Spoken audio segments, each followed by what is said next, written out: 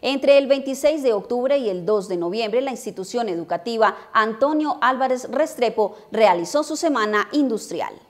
Como ya es costumbre, esta semana tuvo como evento de apertura el arribo de la llama olímpica, procedente en esta ocasión del municipio de La Unión. La llama olímpica abre la semana industrial y es digamos que el pilar de, la industrial, que es la parte técnica, y la llama pues es la luz de la institución como tal. Y lo ideal es llevar esa llama a otras instituciones para que ellos reconozcan eh, lo que hace la institución como tal.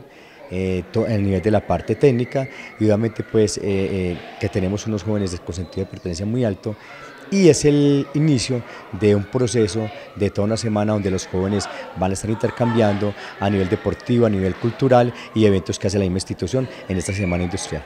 Dentro de los eventos centrales de esta semana estuvo la realización de la Expo Técnica.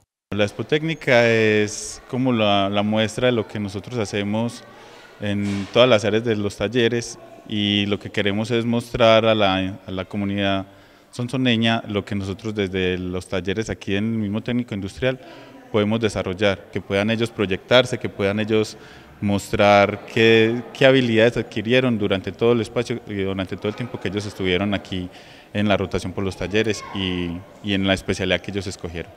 Para clausurar esta semana se llevó a cabo el tradicional sancocho industrial.